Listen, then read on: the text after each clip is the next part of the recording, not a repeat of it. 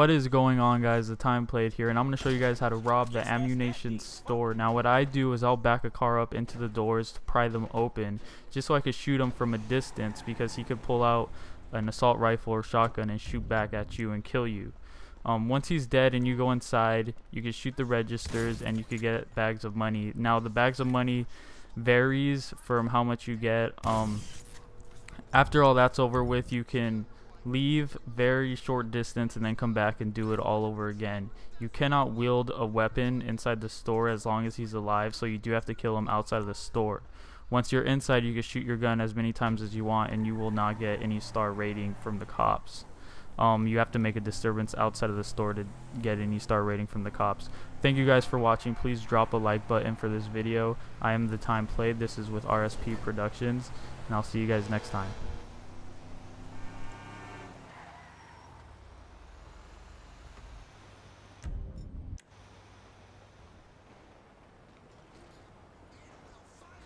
Look around, young buck.